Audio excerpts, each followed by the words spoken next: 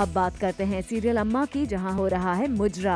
जी हाँ, हनान, मेघना नायडू आज कर रही हैं मुजरा, और उनका मुजरा देखने पहुँचे हैं परवेज, और उन पर काफ़ी पैसे भी लुटा रहे हैं। आपको बता दें कि मुजरे के स्पेशल सीक्वेंस के लिए अलग से गाना बनाया गया है, जिस पर मेघना नायडू ने किया है मुजरा। ये ट्रेडिशनल फोक डांस है, मुजरा है। तो थोड़ा सा obviously you know hand movements and expressions उसमें से, उसमें थोड़ा सा डिफ़िकल्ट हो रहा है बट आई एम मैनेजिंग